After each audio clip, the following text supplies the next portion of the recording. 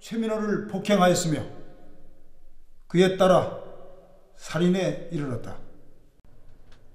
너도 내가 무섭니? 아니. 너 왜 이렇게 됐니?